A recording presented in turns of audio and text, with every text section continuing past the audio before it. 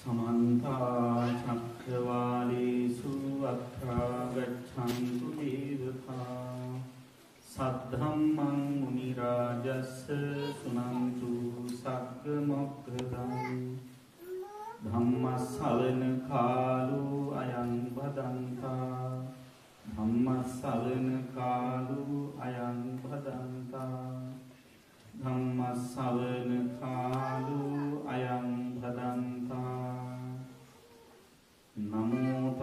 භගවතු වරහතු සම්මා සම්බුද්දස්ස. නමෝ තස්ස භගවතු වරහතු සම්මා සම්බුද්දස්ස. නමෝ තස්ස භගවතු වරහතු සම්මා සම්බුද්දස්ස. මාතායථානියං පුත්තං ආයුසායේක පුත්ත මනුරක්හේ ඒවම්පි සබ්බ භූතේසු මාන සම්භාවයේ අපරිමානන්ති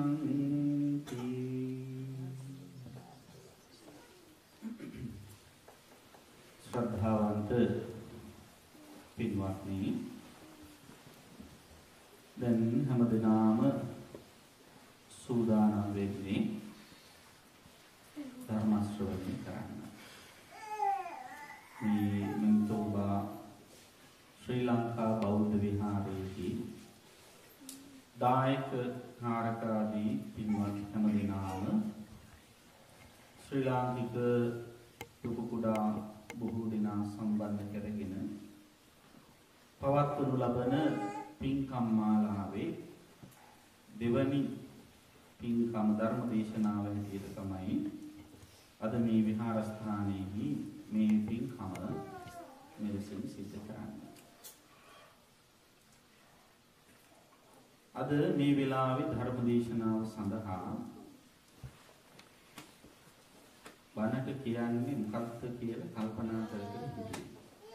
පොඩි මට දැනගන්න ලැබුණා ගොඩක් මගේම බණ මෙතන අන්තර්ජාලය ඔස්සේ බොහෝ දෙනා ශ්‍රවණය කරනවා කියලා. ඉතින් කෙසේ වෙතත් මා කල්පනා කළා අපි හැම දෙනාම දන්න සූත්‍ර දේශනාවක් ඇසුරින් මේ බණ කියන්න ඕන කියලා. ඒ අනුව තමයි මම මේ ගාථාව ප්‍රකාශ කරේ.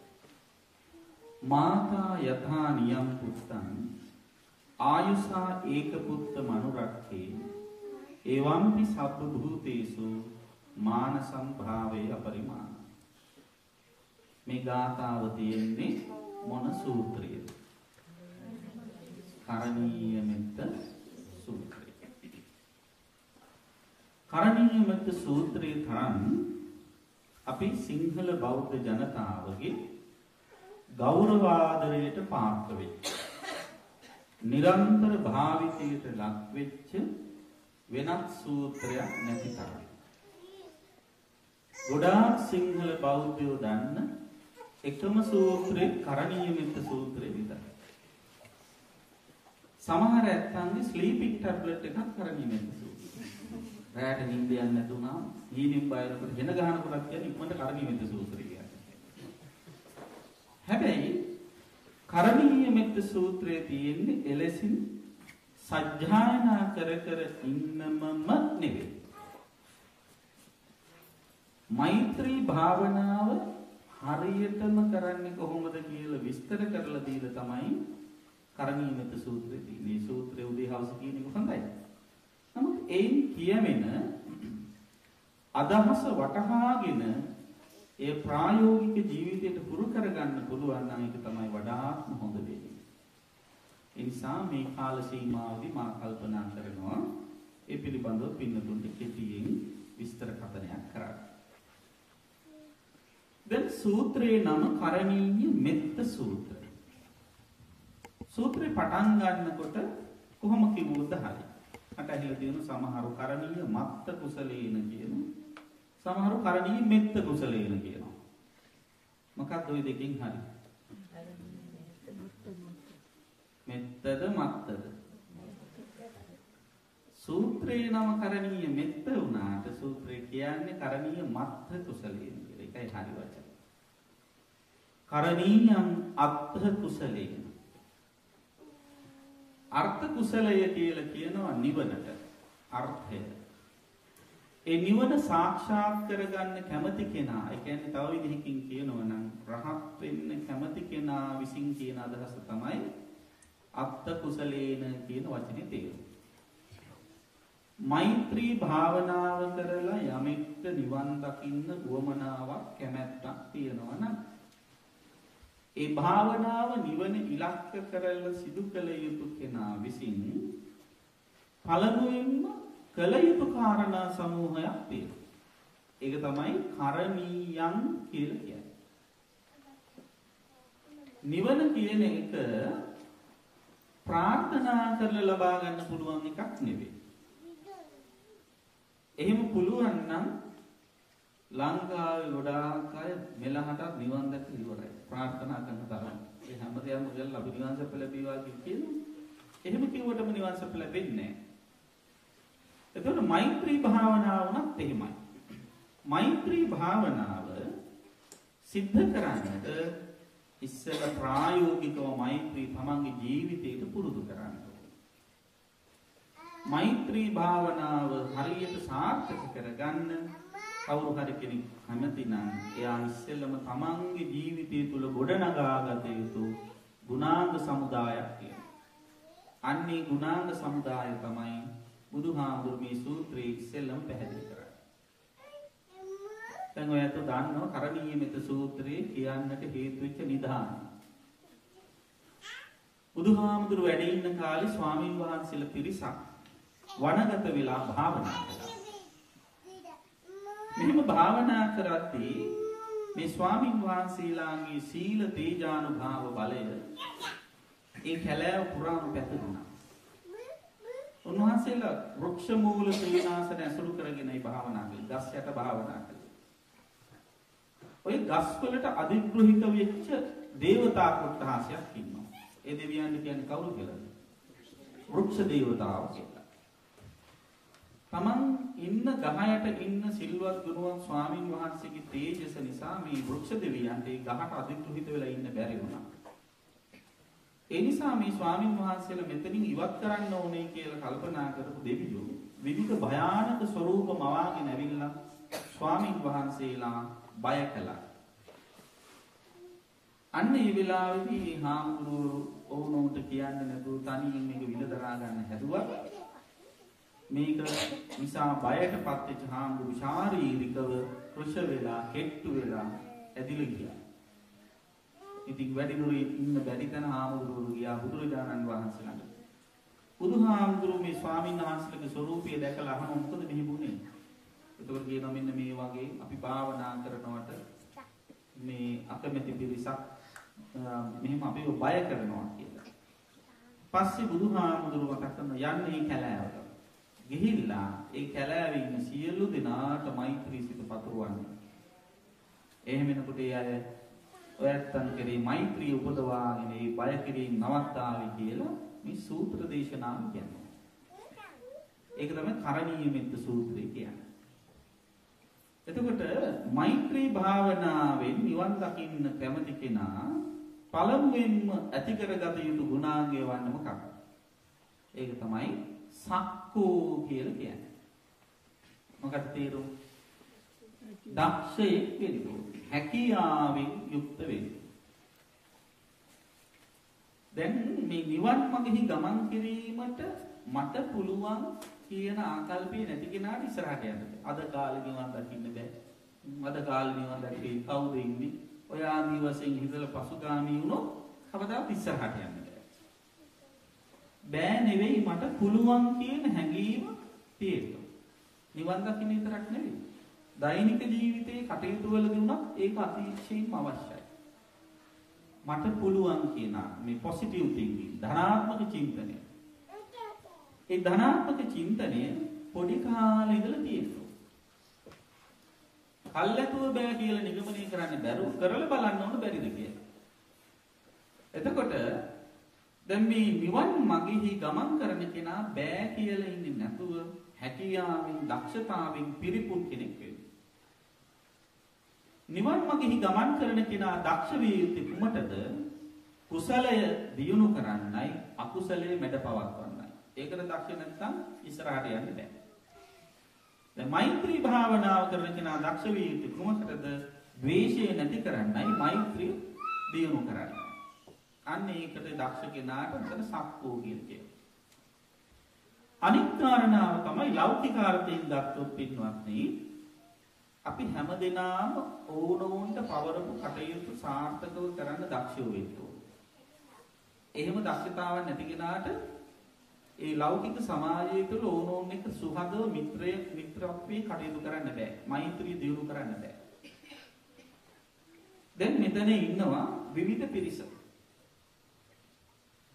සරලව ගත්තොත් මෙතන ඉන්න අම්මලා තාත්තලා.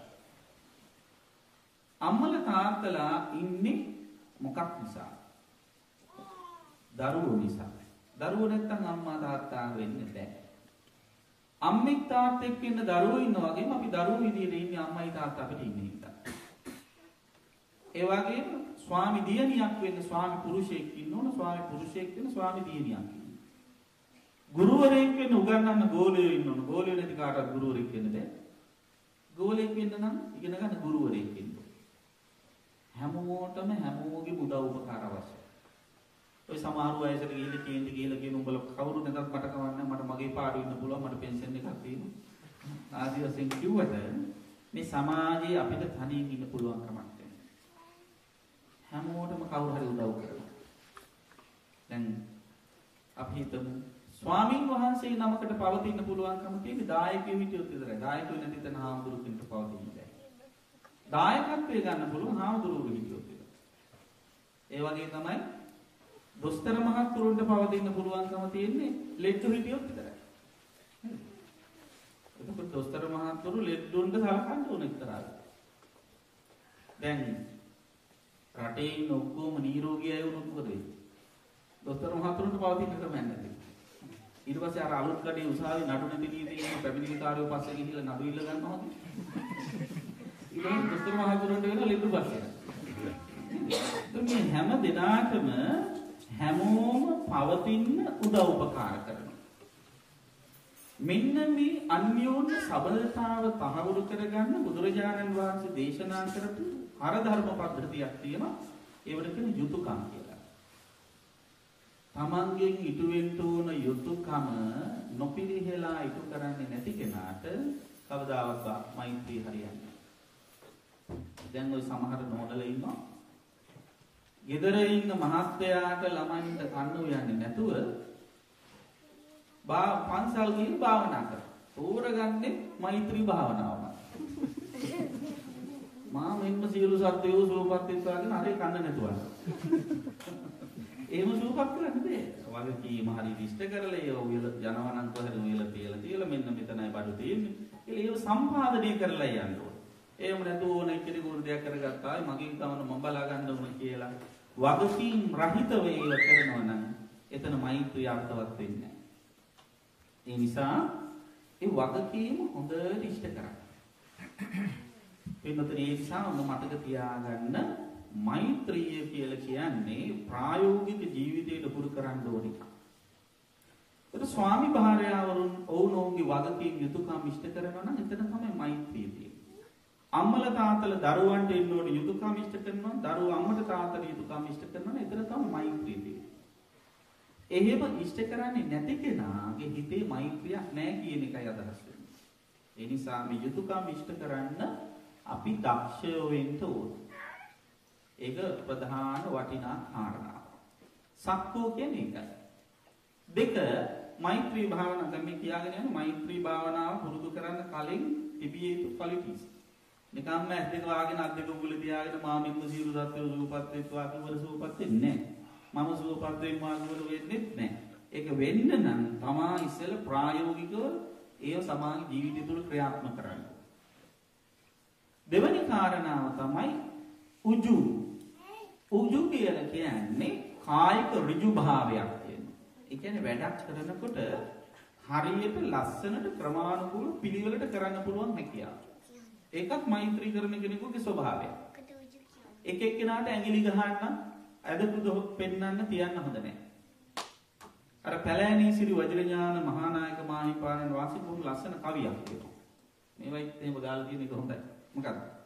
කරතොත් කරපන් හරියට බැරි නම් ඵලයන් අහකට. අතපත ගාමින් වටපිට බලමින් ලතවන්නේ කුමට? යම් කිසි වැඩක් කරනවා නම් හරියට කරන්න ලස්සන. බැරි නම් තමන්ගේ නොහැකියාව පිළි අරගෙන මට මේක කරන්න අමාරුයි මට මේකට දක්ෂකම් නැහැ කියලා පිළි අරගෙන අයින් වෙනවා. එහෙම නැතුව කරන එක්කෙනාට කරන්න දෙන්නෙත් නැතුව අලුත් එක්කෙනෙකුට ඒක පවරන්නෙත් නැතුව අතපත ගාමින් වටපිට බලමින් කාලේ නාස්ති කරන්නේ ඇයි කියලා තමයි කවියෙන් අහන්නේ. එතකොට දැන් බලන්න අපි අපිට පැවරෙන වැඩේ හරියට කරේ නැතුණාම මොකද කරන්නේ? අනිත් අය ඒක දෝෂ දර්ශනයට ලක් කරනවා. එතකොට අපිට කේන්ති යනවා. එතන කරන්න කවුරුත් නැහැ. කරාට පස්සේ ඇදතුරු කියන්න නම් ඕන තරම් ඉන්නවා කියන ඕන ටික. ඊට පස්සේ අපිට කේන්ති යනවා. එහෙම ඇදයක් කියන්නට තියන්නේ නැතුව වැඩ කරන්න උත්සාහවත් වීම තමයි පුළුවන් තරම් වැරදි අඩු වෙන තරමින් කටයුතු කිරීම තමයි මෙතන උජු කියලා කියන්නේ. ඊළඟට දෙවනි වචන තුන්වෙනි වචනේ සූජූච. සූජූච කියලා කියන්නේ මානසිකව ඇති කරගන්න ඍජු භාවය. විශේෂයෙන්ම තීරණ ගනිද්දී සතර අගතියෙන් අගතිගාමී නොවී තීරණ ගැනීමයි මෙතන සූජූච කියලා කියන්නේ. කියන්න බලන්න මොනවද සතර අගති? ඡන්දය, ද්වේෂය, භය, මෝහය. ඡන්දා, දෝසා, භය, මෝහ. මෙන්න මේ කාරණා හතර හරිම භයානකයි. සමහර අය යම් යම් තීරණ ගනිද්දී ඡන්දයෙන් අගතිගාමී වෙනවා. ඡන්දයෙන් අගතිගාමී වෙනවා කියන්නේ ඡන්දය කියන්නේ කැමැත්ත. ඒක කැමැත්ත තම යම් කිසි කෙනෙකුට කැමති නම් අන්න යාට පක්ෂග්‍රාහී විදිහට තමයි තීන්දුව තීරණ ගන්න. ඒක හොඳ නැහැ. දැන් ගෙවල් වල ඔබ කරනවා සමහර වෙලාවට. සමහර අම්මල තාත්තලාගේ ගෙවල් වල ඉන්නවා මේ ෆේවරිට්ස්ලා පවුලේ. නේද? වැඩිමලාට වැඩියෙන් සලකනවා. එහෙම නැත්නම් බාලයට වැඩියෙන් සලකනවා. ලස්සනම එක්කෙනාට වැඩියෙන් සලකනවා. වාසනාවන්තයි කියලා හිතන කියන වැඩට යනකොට ඉස්සරහටත් ඉලිය නේද? දවස වාසනාවන්ත කියලා ගන්නත් එක්ක ආ ඒ විදිහට සලකනවා.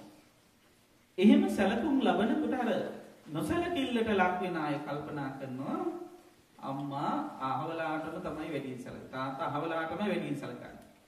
අපි වැරදි කරොත් අපේ වැරදි වලට හැමතිස්සෙම බරින්න බලාගෙන ඉන්නවා. එයා කරොත් අහක බලාගෙන ඉන්නවා. ආදි වශයෙන් හිතනවා.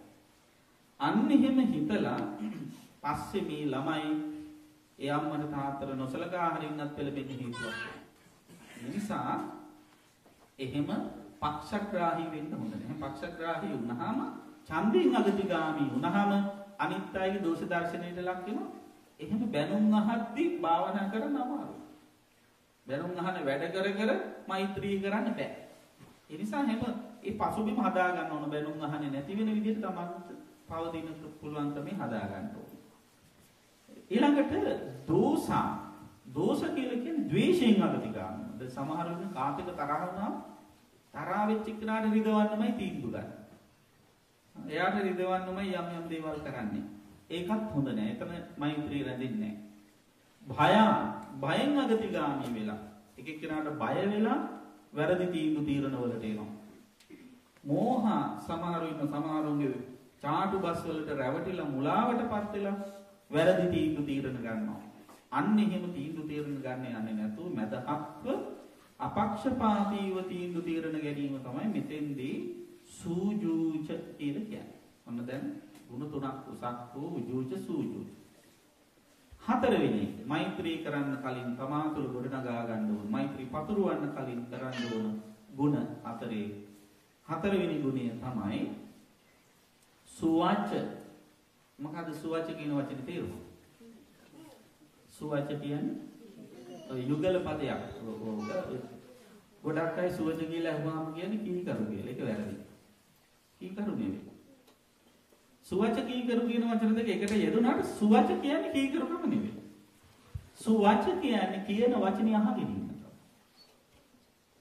කීකරු කියන්නේ මොකක්ද? අහගෙන හිටපු වචනේ කියන දේ ක්‍රියාත්මක කරන කෙනා. කියන දේ කරන කෙනයි කීකරු. පිත්ත පිත්තෙන් වැඩ කරන එක්කෙනාට කියන්නේ කවුරුද? පිටිකරු කියලා. නේද? ඒ වගේ කියන දේ කරන කෙනාට කියන්නේ කීකරු කියලා. කියන දේ කරන්න නම් මොකද කරන්න ඕනේ ඉස්සෙල්ලා? කියන දේ අහන්න ඉන්න ඕනේ. නේද? දැන් යමෙකුට මොන හරි කියන දේ අහන් හිටියේ නැතුණා මොකද අනිත් අයගේ ද්වේෂය විසිලා යනවා. તો කියන දේ අහගෙන ඉන්නෙත් නැහැ, අන්තිමට කරන්නෙත් නැහැ කියලා ඊට පස්සේ පණින්න ගන්නවා. දැන් අපේ දක්ෂකම මේ මම සුවපත් වෙම්මා කිය කියන එකම නෙවෙයි. අනිත් අය සුවපත් වෙන විදිහට අපේ හිත හදාගන්නත් අපි දක්ෂ වෙන්න ඕන. එතකොට ඒ සඳහා කීකරුකම තියෙන්න ඕන. එතකොට ඒ වගේම සුවචකම තියෙන්න ඕන. සුවචකම කියන්නේ එක්තරා විදිහක මනෝ චිකිත්සක ක්‍රමයක්. කියන දේ අහන් ඉන්නේ. දැන් ඔය මානසික ආබාධ වලට ගොදුරු වෙච්ච අය ඒ මනෝවෛද්‍යවරු ගාවට එහෙම ආවහම එයාලගේ ප්‍රශ්න කියාගෙන කියාගෙන යනවා. දොස්තර මහත්තයා එක සැරේටම වාඩි වෙන්න කියලා බෙහෙත් කියන්නේ නැහැ තුන්දු. නේද? එහෙමයි. කායික ලෙඩ නම් සමාජ දොර අරගපු ගමන් තුන්දු වලින අය ලංකාවේ ඉන්නවා. එහෙම නැතුව සාමාන්‍යයෙන් වාඩි කරවගෙන විප්පෑ ගානක් අරගෙන කතා කරගෙන ඉන්නවා. සමහර ප්‍රශ්න තියෙනවා හිතේ තියාගෙන තද කරගෙන ගුලි කරගෙන ඉන්නවට වැඩිය කියලා එළියට දැම්මහම මේක ලොකු සුවයක්. අන්න ඒ සුවය ලබා ගන්න ගොඩක් අය කැමති. ඒ නිසා සමහර ප්‍රශ්න වලට විසඳුම් දෙන්න ඕනේ අහගෙන ඉන්න එකම හොඳම විසඳුමයි. දැන් බලන්න හිතට දුකක් तात එහෙම නැත්නම් මොකක් හරි ඇති වුණා කාට හරි කිව්වම ලොකු සැහැල්ලුවක් ඇති වෙනවා. ඒකනේ දැන් ඔය රහස් එහෙම උනත් එක එක්කෙනාට කියන්නේ. නේ පුංචි අයන්නම් දන්නේ නැතුව ඇති ළඟ ලොකු වැඩි හිටිය අයට මතක ඇති ඉස්කෝලේ ගිහපු කාලේ රහස් කියපු. නේද? සමහර රහස් තියෙනවනේ අම්මට තාත්තටවත් කියන්නේ නැති රහස් කාටද කියන්නේ? ඉස්කෝලේ යාළුවන්. කොහොමද කියන්නේ? මං කියන්නේ. ඔන්න යාළුවා හම්බුනාම කියන මං ඔයාලට බඩක් කියන්නම් කාටවත් කියන්න. අන්න බඩ කියනවා. ඉස්කෝලේ යනකොට බඩ ඔක්කොම දැන්නේ. එහෙම හරි කියන්නේ එළඹිලා දීට එන මොකක්ද නිසා නෙවෙයි. අර මානසික සුවය. ඉතින් අන්න ඒ විදිහේ නා කමන්නේ මේක අහලා හැමදාම දාන රෙකෝඩ් එක කමන්නේ නැහැ අහගෙන ඉන්නම්කො කියලා ඉවසිල්ලෙන් අහන් ඉන්න පුළුවන් නම් ඒකත් මෛත්‍රී ලක්ෂණයක්. කේන්ති ගන්න නැතුව මට දැන් ඕවා අහලා එපා වෙලා තිත්ත වෙලා හා කියලා බැනලෙලවන්නේ යන්න එපා. එතකොට මේ මෛත්‍රිය පතුරවන ක්‍රම මේ අපි හොඳට මතක තියාගන්න ඕනේ. එතකොට ඔන්න සුවච කියන්නේ අනිත් අයට හමුකම් දෙන්න. ඊළඟට මුදු මුදු කියලා කියන්නේ මොකද්ද? අඟිලි වල දාන්නේ නෙවෙයි. හදවතේ ඇතිවන මෘදු ගතිය.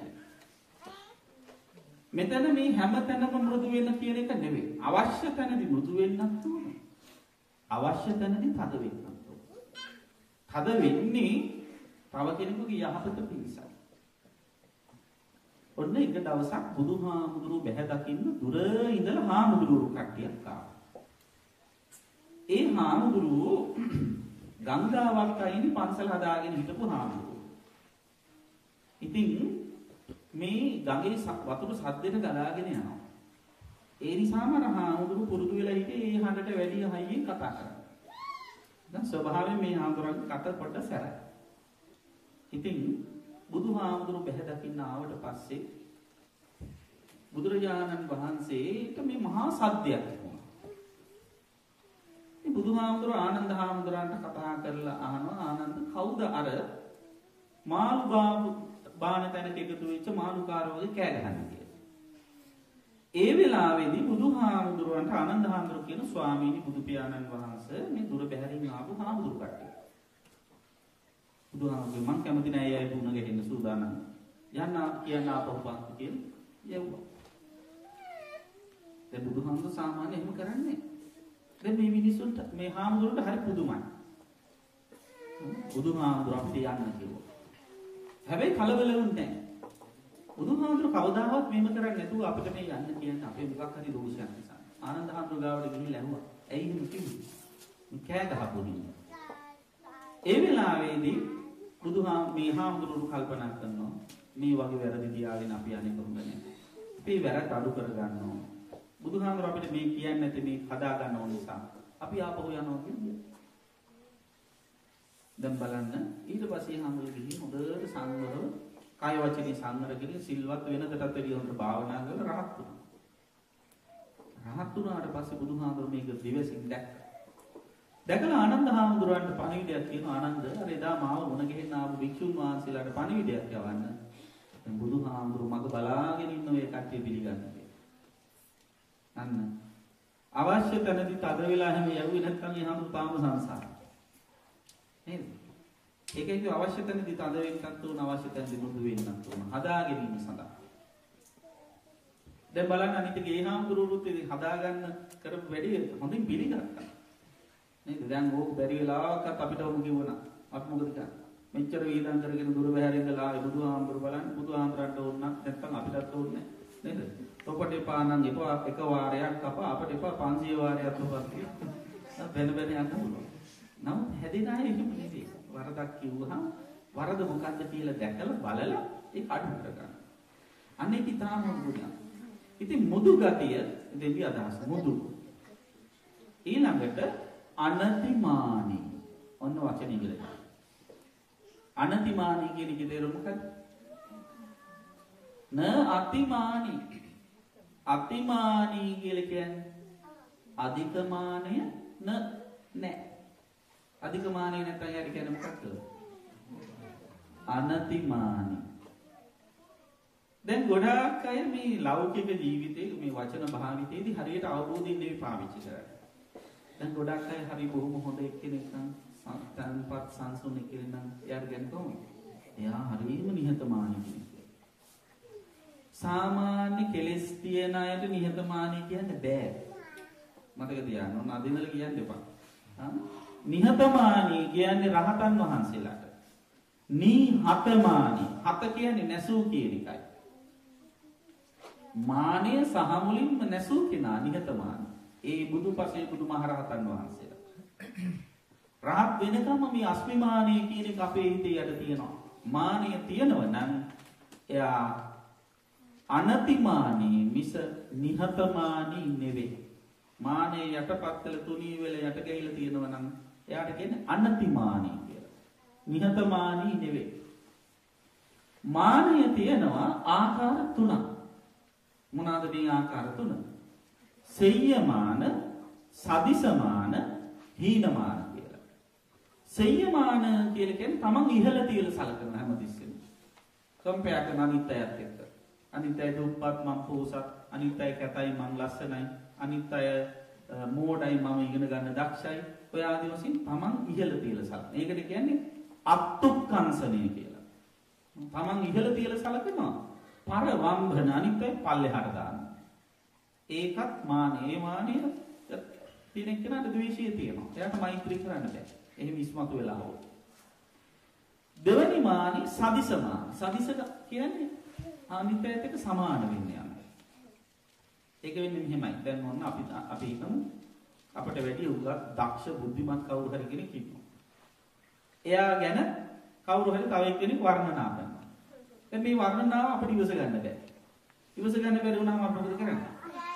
එයත් එක්ක ඔන්න ඒ එක්කෙනත් එක්කම අපි කියනවා මොකක්ද ඉතින් ඔබ ලොකු දෙයක් එයත් මිනිහෙක් මාත් මිනිහෙක් අපි දෙන්නම එක වගේ දෙන්නම එක ඉස්කෝලේට තමයි ගියේ ඔය ආදී වශයෙන් කියලා සමාන වෙන්න හදලා දැන් ඔන්න අපි හිතමු ලංකාවේ අදටත් අපේ ජාතික වීරයන්ට තැනක් තියෙනවානේ කොච්චර මිනිස්සු සල්කන ජාතික වීරයන්ට ඒ සැලකිලි දැකලා ඉවරලා වීරත්වයක් නැති එකක් හිතන මමත් වීරෙක් කියලා එහෙම හිතලා ඒ අය කල්පනා කරන අතීතයේ හිටපු අය මා සමානයි කියලා.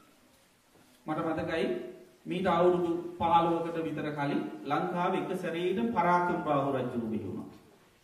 දැන් යන්නේ දුටුගැමුණු රජුගේ කාලේ. මේ රාජකීය මානසිකත්වයේ ඉන්නේ ඔන්න ඔය කියන සත්‍යමානෙ නිසා. ඊළඟ මානෙට කියන්නේ හීනමාන හීනමානය කියලා කියන්නේ කතාවට කොච්චර දක්ෂතා ශක්තිතා හැකියාවන් තිබ්බත් ඒව පිළිගන්නේ නැත්නම් මුළු ගැන්නෙන එක. අපි ඔය ඒ අයට පෑහෙන්නේ. ඒ අය අපිට වැඩි උසස් බුද්ධිමත් සල්ලි තියෙනවා. ඒ නිසා අපි ඔය පූර්ව මූරෝසේ ආල්ම සොරි ගන්න ඕනේ. අපි අපේ පාඩියු ඒක නිකන් මේ හොඳ දෙයක් හැටියට හිතලා කියන්නේ ඒකත් මානෙ. ඒකත් ඒ තුල සියුම් ද්වේෂයක් තමයි ක්‍රියාත්මක වෙන්නේ. ඉතින් අන්න ඒ මානය ත්‍රිවිධාකාර මානයම මෛත්‍රීට බාධාවක්. ඒ නිසා ඒ මානය සහමුලින්ම නැති කරගන්න අමාරුයි රහත් වෙනකම් ඒක තුනී කරගන්න අඩු කරගන්න ඕන අනික තමයි අනතිමානී කියන්නේ. එතකොට ඒ සඳහා අපි උත්සාහවත් වෙන්න ඕන. මුඩු අනතිමාන. ඊළඟට සන්තුස්සකෝ සන්තුස්සකෝ කියන්නේ ලද දෙයින් සතුටු වීමේ ගුණය. ඒක අපි හැමෝම ගැන තියෙනවා. නැත්තම් දෙන දෙයින් සතුටු වෙන්නේ නැති කෙනාට ඊට පස්සේ තරහ. කොච්චර දුන්නත් මදි.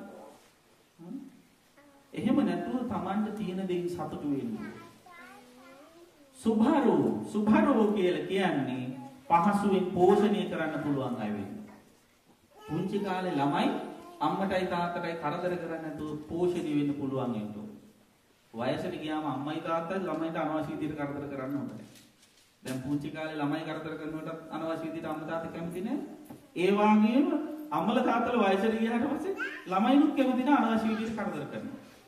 ඒ නිසා කරදර නොවන විදිහට පවතින එක දෙමව්පියන්ගේ වගකීමක්. ඒ නිසා මේ පුංචි කාලේ ඉඳලා ළමයින්ට ජීවත් වීමේ තියෙන බරාරුකම අවබෝධ කරගන්න. මෛත්‍රී කියන්නේ ඒකයි. සමහර අම්මල තාත්තල හිතන් ඉන්නවා අපි ගොඩාක් දුක් විඳලා මේ තත්ත්වයට ආවේ. ඒ නිසා අපි විඳපු දුක් ළමයින්ට දෙන්න හොඳ නැහැ. පුළුවන් තරම් ඒ අයට ඉල්ලන ඉල්ලන කැමති විදියට හැසිරෙන්න දෙන්න ඕන කියලා කියනවා. ඉල්ලන ඉල්ලන දේවල් අරන් දෙන්න ඕන කියලා කියනවා. ඒක එච්චර හොඳ දෙයක් නෙවෙයි. ඉල්ලුමේ හැටියට කරන සැපයුම බිස්නස් එක. අම්මල තාත්තලා ඉන්නේ ඒකට නෙවෙයි. අම්මා තාත්තා ඉන්නේ දරුවට අවශ්‍ය දේ අරන් දෙන්න. පුංචි දරුවෝ දන්නේ නැති ගමන එක එකව දැක්ක දැක්ක හිත ඉල්ලන්න පුළුවන්. ඉස්කෝලේ යාළුවන්ට තියෙන නිසා ඉල්ලන්න පුළුවන්. අහවලාටත් තියෙන මටත් එකක් කරන් දෙන්න කියලා. අම්මා තාත්තා දක්ෂ වෙන්න ඕනේ ඒක දරුවට අවශ්‍යද නැද්ද කියලා තේරුම් බේරුම් කරලා පැහැදිලි කරලා දෙන්න. නෑ නෑ ඒක ඕන නෑ කියලා නිකම් ප්‍රතික්ෂේප කරන්නේ නැතුව ඒක ඕන නැත්තේ ඇයි කියන එක ඒත්තු ගන්නන්න අම්මා තාත්තා දක්ෂ වෙන්න. එහෙම ඒත්තු ගන්නන්න දක්ෂ වුණොත් ඊට පස්සේ ළමයාට ඇති වෙන්නේ තරහ. ඒ නිසා ඉඳලා හිටලවත් මේ දරුවන් විඳින වාසනාවන්ත ජීවිත ගැන කියන්නේ. පින්වත්නි මා ලංකාවේ ඉන්නකොට ඔය උතුරු නැගෙනහිර ප්‍රදේශවල දුප්පත් ගම්මානවල නිතර යනවා. මම දැකලා තියෙනවා එහි දරුවෝ විඳින දුකයි කොළඹ ප්‍රදේශයේ දරුවෝ විඳින සැපයි. සංසන්දනය කරලා කියන්න පුළුවන්. දැන් බලන්න එහි ඉන්න සමහර ළමයින්ට ඔය උතුරු පැත්තේ දුෂ්කර ගම්මානවල ඉන්න සමහර ළමයින්ට ඉස්කෝලේට අඳින්න යුනිෆෝම් එකක් නෑ. කොළඹ ඉන්න සමහර ළමයින්ට යුනිෆෝම් 3-4 තියෙනවා. අර ළමයි ගෙදරට අඳින්න ගවුම ඇඳගෙන සමහරව ඉන්නවා. සමහරුන්ට දැන් මෙහි බලන්න මෙහි කකුල් දෙකට දාන්න කොච්චර සපත්තු තියෙනවද? ඉස්කෝලේ යනකොට එක සපත්තු දෙකක්, ටියුෂන් යනකොට තව සපත්තු දෙකක්, ස්පෝර්ට්ස් කරනකොට තව සපත්තු දෙකක්, ටොයිලට් එකට යනකොට දවස රෙපු දෙකක්. එක එක જાති සපත්තු සෙරෙපු. එහි සමහර ළමයි ඉන්නව රබර් සෙරෙපු දෙකක් අත්නේ. ඒ අය ගෙදර ඉඳලා පයින් යන කිලෝමීටර 3-4 සෙරෙප්පුත් නැතුව. මෙහි ළමයින්ට පැය මේ කිලෝමීටර් භාගයක් පයින් යන්න අමාරු සමහර වෙලාවට. මෙහි ඉන්න ළමයින්ට කොච්චර ලස්සන ස්කූල් බෑග්ස් තියෙනවද? එහි ළමයින්ට අඩුම තරමේ මේ shopping මල්ලක් shopping බෑග් එකක් ගන්න. පොත් ටික අතේ අරගෙන ගිහිල්ලා ධාරියට කවර ඉරලා ගිහින් තියෙනවා.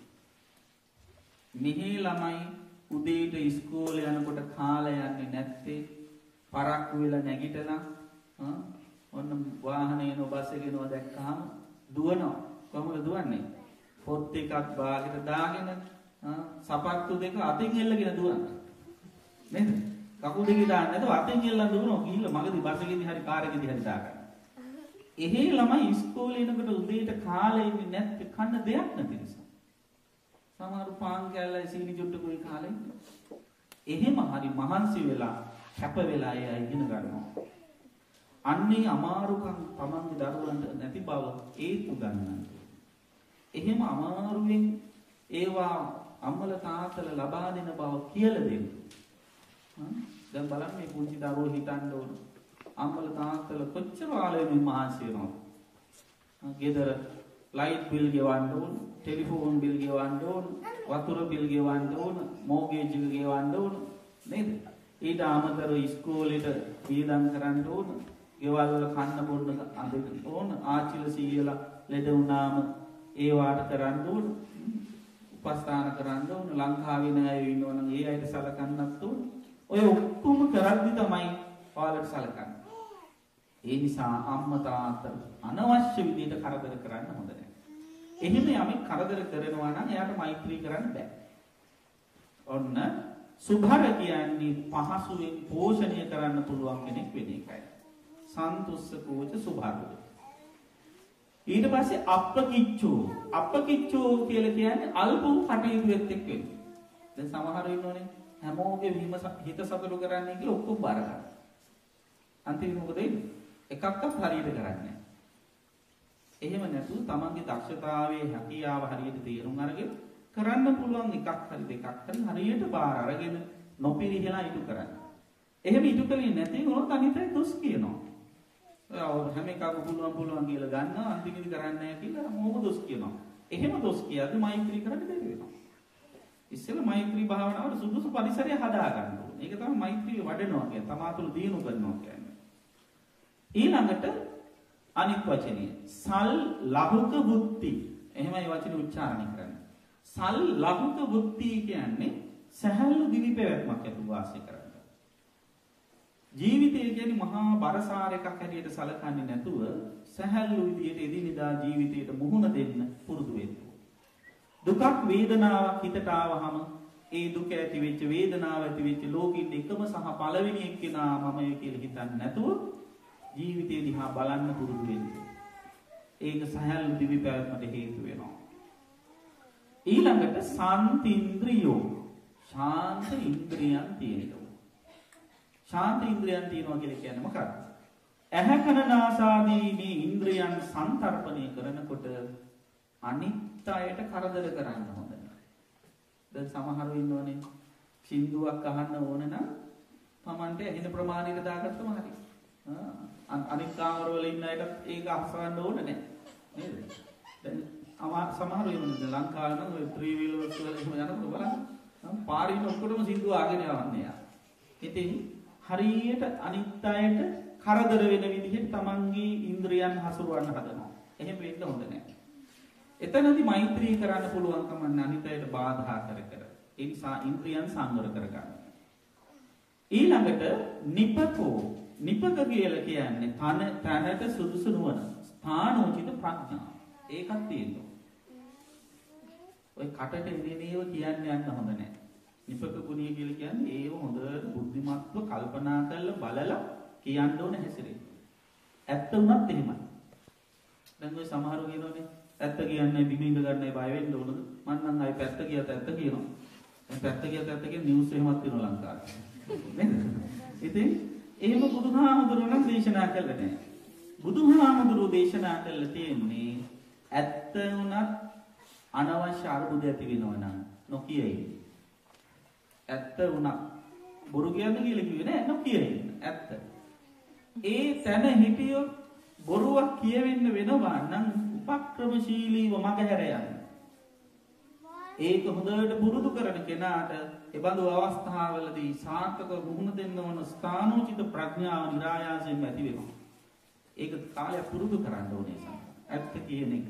අවස්ථාව උචිතව ඇත්ත කියන්න පුරුදු වෙන්න ඕනේ. සමහර වෙලාවට අපි හොඳයි කියලා හිතන දේ අනිත් එක්කෙනාට නරක වෙන්න පුළුවන්. ඒ නිසා කටට එන වචන එලෙසින් එළියට දාන්න නැතුව දෙසරයක් හිතන්න. වෙනත් ලංකාවේ ඉන්න බොහෝම දක්ෂ ධර්මදේශකයන් වහන්සේ කෙනෙක් උන් එක දවසක් බණකට වැඩියා. බණට වැඩලා ආපහු පන්සලට යද්දි හාමුදුරන් වාහනේ කැඩිලා. හාමුදුරුවෝගේ ඩ්‍රයිවර් වාහනේ හදාගන්නකම් ආදර එළියට වෙලා හිටියලු. ඔතනින් යන්න ආපු මේ දායක මාත්‍යෙක් හාමුදුරුවෝ දැකලා අඳුනගෙන මේ අහවල් හාමුදුරුවෝ නේද වඩික ස්වාමීන් වහන්සේ මම ඔබ වහන්සේගේ පන්සල පැත්තටමයි යන්නේ කියලා එක්කගෙන ගියා. බලෙන්ම වගේ එකන් ගියාම ඉතින් හාමුදුරුවෝ ඩ්‍රයිවර් කිව්වේ නා වාහනේ හදාගෙන පන්සලට එන්න කියලා වාහනේ නැගලා ගියා. ටික දුරක් ගිහිල්ලා වෙල කඩයක් ගාව නවත්තලා කියනවලු මේ දායක මාත්‍ය හාමුදුරුවෝ මට බඩුවගයක් ගන්න කියන පොඩ්ඩක් මම බඩුව අරන් ඉන්නකම් ඉන්න බෑ. දැන් ඉතින් මොනෝ කරන්නේ නැගපු ඉන්න තෙබ. දැන් ඉතින් කඩේට මේ කාර් එකට වෙලා ඉන්නවා. ඔය අතරදී මේ හාමුදුරු බැලුවලු දායකයෙක් ගිහපු කඩේ මොකක්ද? ඉතින් කඩේ නම දැක්ක ගමන්ම ඒ පලාතෙම හිටපු මිනිස්සු මේ ගමේ හාමුදුරුවන්ට මේ කඩේ මුදලාලි ගැන කියපු කතා ටික මතක් වෙන්න ගත්තා. මේ මුදලාලි හොරට බඩු කිරනගෙන මිනිසුන්ට කරුණාවක් නැති කෙනෙක් ඉඳලා හිටලවත් ණයට දෙන්නේ නැති කෙනෙක් ආදි වශයෙන් කියලා තිබ්බා. මේවා ආරංචි වුණාම මේ හාමුදුරුවෝ මේව මතක් වෙලා දැන් කල්පනා කරලා මෙච්චර කඩේදී මේ උන් හැ මෙතනම නැවැත්තුවේ මේ කඩේ හැටි දන්නේ නැතුව ඇති. මුදලාලි ගැන දන්නේ නැතුව ඇති. දැන් මටත් අමාරු වෙටිච්ච වෙලාව උදව්වක් කරපු දායකෙනෙක් කියන්න ඕන මේ කඩෙන් නම් ආයෙ බඩු ගන්න එපා කියලා කියනවා එමය කියලා දැන් හාමුදුරු කට මැදගෙන සූදානම් වෙලා ඉන්නවා කඩේ හැටි කියන්නේ. ඔය අතරේ දායක මාත්‍ය බඩු වල දෙක පුරවගෙන අමාරුවෙන් ඇවිල්ලා කාර් එකට දාලා දොර වහලා ආපහු ස්ටාර්ට් කරගෙන දැන් ඔන්න යන්න හදනකොට හාමුදුරුවන්ට තියෙනවා ස්ථානෝචිත ප්‍රඥා නිපක ගුණය. හාමුදුරු කටට එන්නේ නේ කියන්නේ නෑ. හාමුදුරු කෝකටත් කියලා හුවා දායක මහත්තය හැමදාම බඩු ගන්න මේ කඩේදී. දායකයත් කටටම කිව්වා එහෙමයි ස්වාමීන් වහන්සේ මේ මගේ පුතාගේ කඩේදී. දැන් බලන්න සල්ලතුව කඩේදී වුණා ආම්බුරිතන බස්සල දායකයා. ඒ නිසා ඕනෑම තැනකදී මතක තියාගන්න ඕන යමක් කමක් කියන්න කලින් අපි දෙසරයක් කල්පනා කරන්න මේක හොඳද ගැළපෙනවද සුදුසුද කියලා හිතලා බලලා තමයි කියන්න ඕන. අන්න ඒක තමයි ස්ථානෝචිත ප්‍රඥා. නිපක කියන්නේ. දැන් එහෙම නැත්තම් බලන්න මොන තරම් අර්බුදයක්ද ඇති වෙන්නේ. එහෙම අර්බුදය ඇති කරගෙන මෛත්‍රී කරන්න බෑනේ තරහකාර වෙනවා ඇති. ඒ නිසා ඒ ඒ ಗುಣ තමා තුළ තියෙනවා. සම්තින්ද්‍රයෝච නිපකෝ. ඊළඟට අප්පගබ්බෝ අල්ප්‍රගල්භ වෙන්න ඕනේ. කියන්නේ දරදඬුකම් දඩබ්බරකම් තියෙන්න ඕන නෑ. ඔය ස්ටබර්න් කියලා කියන්නේ හිතුවක්කාර විදියට කියන දේ අහන්න නැතුව දරදඬු ගති තියාගන්න මෛත්‍රී භාවනා කරන්න. ඒ වයින් කරගන්නවා. අප්පගබ්බෝ. ඊළඟට කුලේසු වනනුගිද්දු. කුලයන්ට ඕනුවට වැඩි ගිජු වෙන්න හොඳ නැහැ. කුලය කියන්නේ එතන පවුල. පවුලට ඕනුවට වැඩි ගිජු වෙන්න හොඳ. තමන්ගේ යුතුයකම් වගකීම් නොපිරිලි ඉටු කරන ගමනේ තමන්ට පුද්ගලික සංසාර විමුක්තියක් තියෙනවා කියලා හිතන්න. දැන් අමාරුයි මේ පන්සල් හදාගෙන මේ මේවා නඩත්තු කරගෙන මේ කටයුතු කරද්දී මේවෙන් ප්‍රයෝජන ගන්නත් ඕනේ. නිකාම්ම ගොඩ නැගිලි තිබිලා වැඩක් නෑ. ඒ නිසා මේවට නිතර දෙවිලේ එක් වෙලා මේවා දියුණු කරගෙන ඒ වයින් ඒ සේවාවන් ලබාගෙන කටයුතු කරන්න. සමහර අයට එහෙම විවේකයක් නැහැ. දැන් ඇහුවාම මොකද මේ පන්සල් එන්නේ නැත්තේ? ඒතකොට ගානේ ස්වාමීන් වහන්සේ ළමයි තාම පුංචිදී ලොකු වුණාම එන්න පුළුවන්. ඉතින් ලොකු වුණාම අහනවා ඇයි දැන් ඉන්නේ? ස්වාමීන් වහන්සේ ලබන අවුරුද්දේ පුතා ඕලේ වල කරනවා. මේ දවස්වල හරියට පාඩම් හරියට අම්මා පාඩම් කරනවා වගේ තමයි කතා. ඉතින් ආපහු කාලේ ගියාට පස්සේ ආපහු අහන දැන් ඉතින් ඊළඟ කරන වයසනි ස්වාමීන් වහන්සේ ළඟම ඉන්න ඕනේ නැත්නම් ළමයි පාඩම් කරන්න. ඉතින් ඒකත් කියලා ඉවරයි. ඊට පස්සේ ආපහු කතා කරන්නේ දැන් ඉතින් විශ්වවිද්‍යාලේ යනවා. ඊදරත් වැඩි දවසක් නැහැ ඉඳලා හිටලා එන්නේ. ඉතින් සතියන්ති තමයි එන්නේ. ආවත් ඉතින් ඊදර විදිහට කැම ටිකක් හදලා දෙන්නත් එපා. විශ්වවිද්‍යාල වැඩ ටික ඉවර කරගත්තොත් නම් ඔන්න මට විවේකී තියෙනවා කියලා ආයි කියනවා. ආයි කාලයක් ගිහිල්ලා අහනවා. දැන් මොකද ඉන්නේ? අනේ ඉතින් ස්වාමීන් වහන්සේලා අම්ම තාත්තා විදිහට අපේ වගකීමක් තියෙනවා මේ ළමයි දැන් තරුණයි. මේ කරදරේ මිදුනාම හරි මේ කට්ටියට විවාහයක් කරලා දුන්නට පස්සේ හරි ඊට පස්සේ එනවා. ඒකත් හරි ගියාට පස්සේ අහනවා දැන් ඉන්නේ නැති මොකද? ඊට පස්සේ කියනවා ඉස්වා මේ මේ ළමයි විවාහ කළ දෙල් දැන් ඔන්න බබාලේවත් හම්බ වෙලා. ඊට පස්සේ කියනවා අනේ විශ්වාස කරන්න ස්වාමීන් වහන්සේ මේ දරුවෝ මගේ අතින් බහින්නේ නැහැ. මොකද ආන්නේ ඔය විදිහට එක එක හේතු එක හේතු එක අන්තිමේදී ඒවටම නැහිලා මැරිලා යනවා. අන්තිමේ තමන්ට කරගත්ත දෙයක්. දැන් එහෙම වෙන්නේ නැතුව තමන් තමන්ට ආදරයක් කරුණාවක් මෛත්‍රියක් තියෙනවා නම් ඕවට අනවශ්‍ය විදිහට කිජු වෙන්නේ නැතුව තමන්ගේ වගකීම් ඉෂ්ට කරන තමනේ තමන්ගේ පුද්ගලික සංසාර විමුක්තියට කටයුතු කරන්න ඕන. කුලීසු අනුගෙතු. අවසානයක නච කුද්දං සමාචරේ. කිංචි යේන විඤ්ඤු පරේ උපවදෙය්‍යම්. නුවණැති අය දොස් කියන මොඩියෝ නෙවෙයි. නුවණැති අය දොස් කියන පුංචි වැරද්දක්වත් මං කරන්නේ නෑ කියලා හැමදාම ඉක්මනට. උදේට ඇඳින් කකුල් දෙක බිම තියපු ගමන් ඇස් දෙක වහගෙන හිටන්න ඕනේ. මං නිස්සාය අඤ්ඤේ සංකිලමන කිච්ඡං නත්ති මානිසා අනෙකුට කරදරයක් වෙන්න එපා. අනේ අද දවසේ මගේ සිතවිල්ලකින්වත් වචනයකින්වත් ක්‍රියාවකින්වත් පුංචිවත් වැරද්දක් ආටවත් වෙන්න එපා කියලා අදිෂ්ඨාන කරලා දවස පටන් ගන්නවා. ඔන්න ඔය කියන ගුණ ධර්ම ටික යමෙකුට තියෙනවා නම් එයාට විතරයි මෛත්‍රිය වඩන්න පුළුවන්. පින්වත්නි මෛත්‍රී භාවනාවේ ප්‍රධාන කොටස් දෙකක් තියෙනවා. ඔන්න මතක තියාගන්න පස්සේ ආන්න. පළවෙනි එක තමයි මෛත්‍රිය වැඩි වීම. දෙක පැතිරවීම. වඩන්නේ Tamanට. පතුරවන්නේ අනුන්ට. ඔය දෙකෙන්ම කරන්නේ Tamanගේ හිත හදාගෙන. ඒක අපි තේරුම් ගන්න ඕනේ. අපි මෛත්‍රී කරන්නේ අපි මෛත්‍රී කරන නිසා අනිත් අය සුවපත් කරන්නමම නෙවෙයි. අපි මෛත්‍රී කළොත් අනිත් අය සුවපත් වෙන බව ඇත්තයි. අපේ මූලික අභිලාෂය විය යුත්තේ මෛත්‍රිය තුල අපේ හිතේ ද්වේෂය නැති කරගන්න. මෙත්තා භික්කවේ භාවේ තබ්බා දෝසස්ස පහන. මහණෙනි ද්වේෂය නැති කරගන්න මෛත්‍රී කරන්න.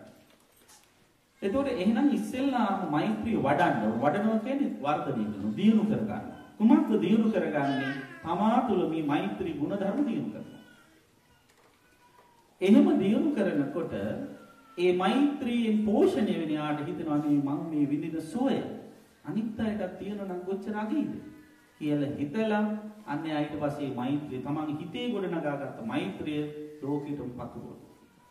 ඒ නිසා මෛත්‍රිය ඉස්සර තමන් තුළ වඩන්න අනිත් එක තමයි සාම්ප්‍රදායික මෛත්‍රී භාවනාවේදී අපි මෛත්‍රිය වඩනකොට ගොඩාක් වෙලාවට Tamanට මෛත්‍රිය වඩනකොට කියන්නේ කොහොමද? මම සුවපත් වෙම්මා, නිදුක් වෙම්මා, නිරෝගී වෙම්මා, සැපවත් වෙම්මා ওই විදිහට. ඇත්තටම හොඳට බැලුවොත් පෙළ පොත් එක්ක ගලපලා බැලුවොත් ඒව මොකක්වත් නැහැ. පෙළේ. ඒකේ තියෙන්නේ අහං අවේරෝ හෝමි, අභ්‍යාපජ්ජෝ හෝමි අනීඝෝ හෝමි සුඛී අත්තානම් පරිහරා. ඔච්චරයි. අහං අවේරෝ හෝමි මම වෛර නැත්තෙක් වෙමි. තරහ නැත්තෙක් වෙමි.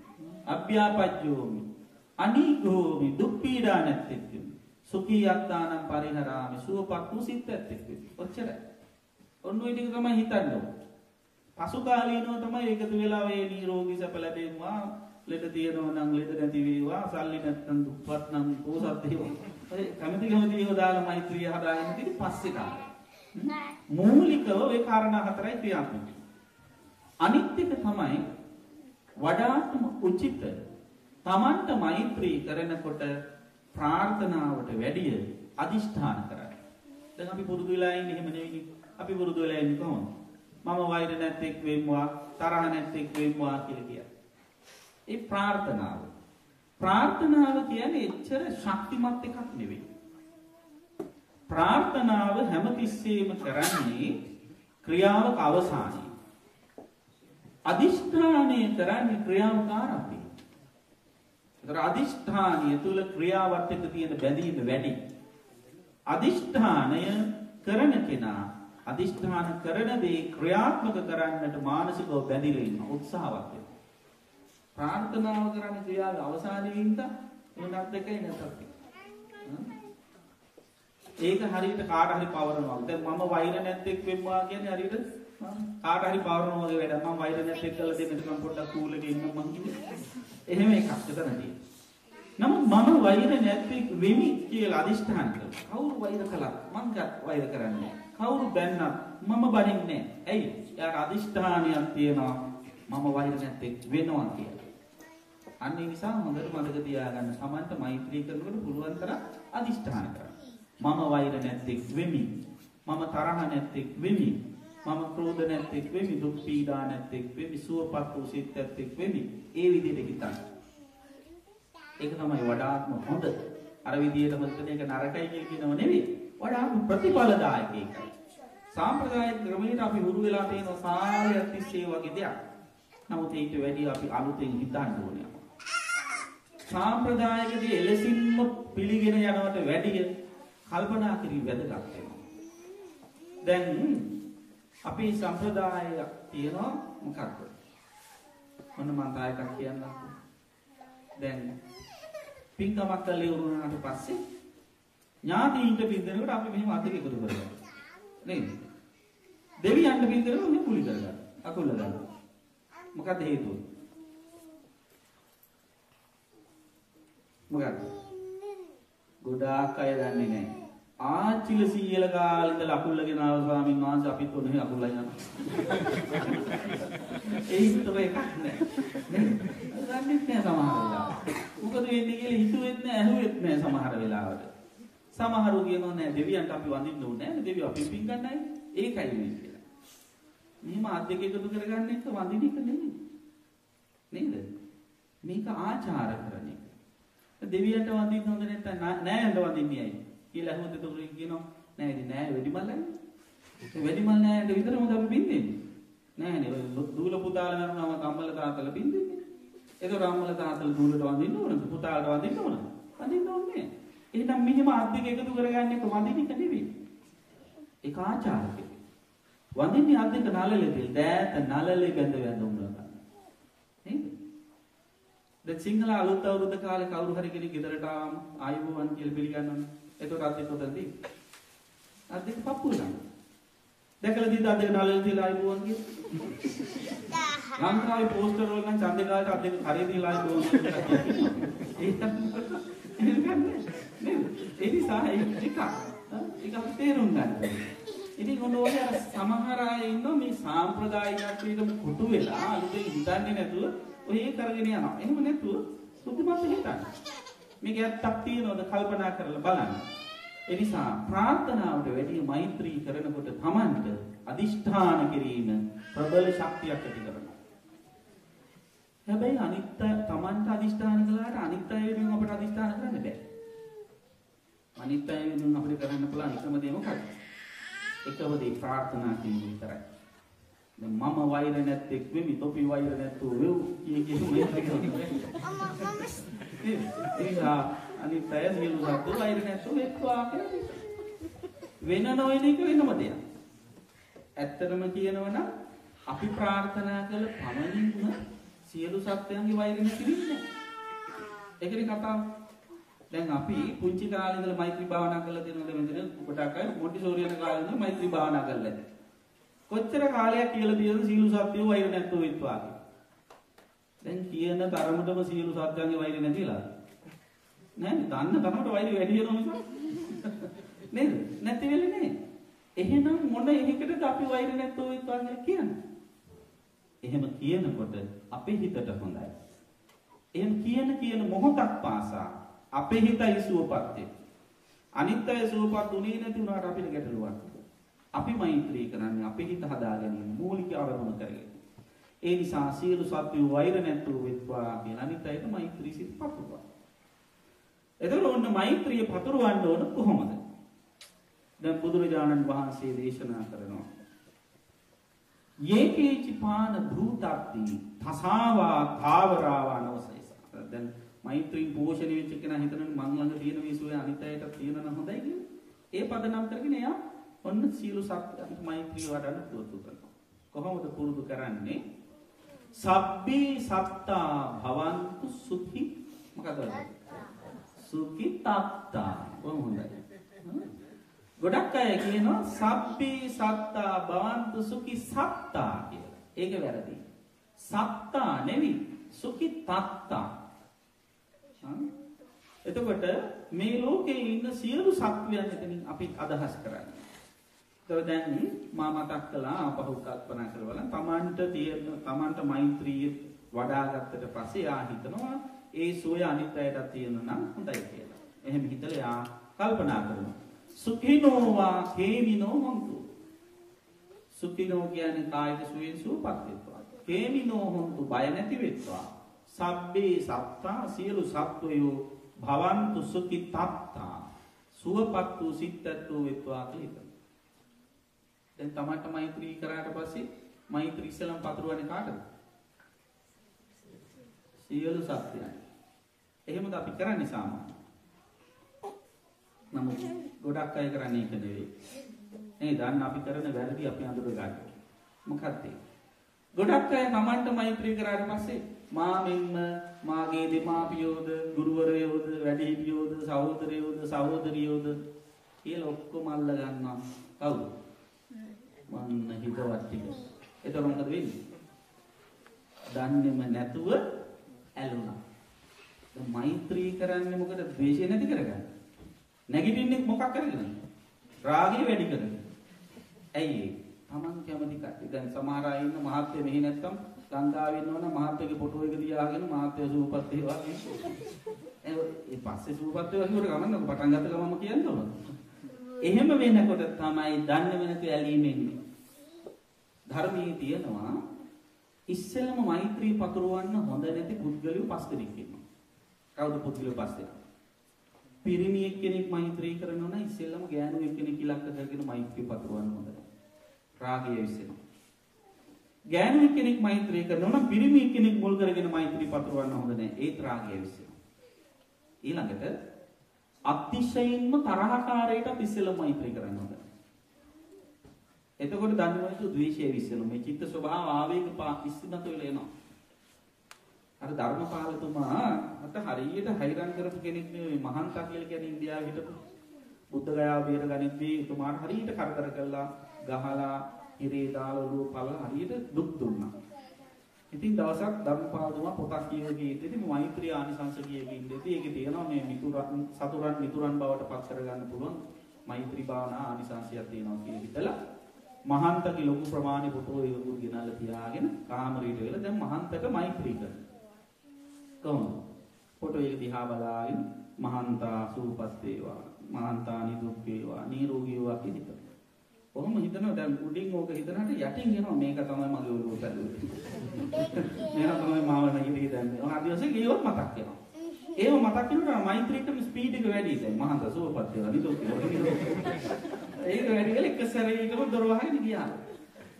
පස්සේ අර ජේමිස් කියලා මිනිහෙක් ඉන්නවලු ඔය කාමරේ අත්පස් කරන. ඒ මිනිස්සු ගිහින් දොර ඇරලා බලනකොට මහන්තගේ රූපේ කෑලි කෑලි වලට ඉරලා හරිනවා. ඇයි අන්න අතිශයින්ම තරහකාරයට මෛත්‍රී දුක් කරන්න තෝරගත්තම ද්වේෂය තියෙනවා. දැන් බලන්න ඒ තෝරා ගැනීම තුළම ද්වේෂය එනවනේ. තරහකාරයෝ අපිට එක්කෙනා දෙන්නේ. නෑනේ තරහකාරයෝ කොච්චර ඉන්නවද? ගොඩක් ඉන්නවා. ඒ ඒ ගොඩෙන් අපි කොහොමද අතිශයින්ම තරහකාරී තෝරගන්නේ? එතකොට අර මිනිස්සේ කරපු ඔක්කොම වැරදි හොයාගන්නත් නේද? මේ මෙච්චර බැනලා දෙන. බැනලා දැන් දැන් පස් සැරයක් බැනපේ කෙනෙක් ඉන්නවා 10 සැරයක් බැනපේ කෙනෙක් ඉන්නවා 15 සැරයක් බැනපේ. ඉතින් අතිශයින්ම තරහකාරී තෝරගෙන අර බැනපු 15 මතක් කරගන්නේ. දන්නේම නැතුව කෙලෙස් ඇවිස්සේ. ඒ නිසා අතිශයින්ම තරහකාරයටත් මෛත්‍රී කරන්න එපා. ඉස්සෙල්ලම මෛත්‍රී කරන්න එපා කියන එක නෙවෙයි ඉස්සෙල්ලම මෛත්‍රී පතුරවන්න එපා. එතකොට තරහ ඇවිස්සෙලෙනවා. ඒ චිත්ත ස්වභාවය. ඒක හිත පාලනය කිරීම අනුපිළිවෙලක් තියෙන. ඒකයි මේ කියන්නේ. ඊළඟට අතිශයින්ම හිතවත් එක්කෙනාට ආ මෛත්‍රී කරන්න එපා. ඒ තුල ඉන්නේ බැඳීම්. අම්මා තාත්තා දූ දරුවෝ ආදී ඒ අය ගන්න යන්න පිස්සෙල්ලා. ඊළඟට පරලෝසපත් නෑ යන්නේ. දැන් පරලෝසපඥාය කොහේ ඉපදලා ඉන්නවද කියලා අපි දන්නේ නැහැ. එයාට මෛත්‍රී කරන්න ගියාම හිත වික්ෂිප්ත වෙනවා.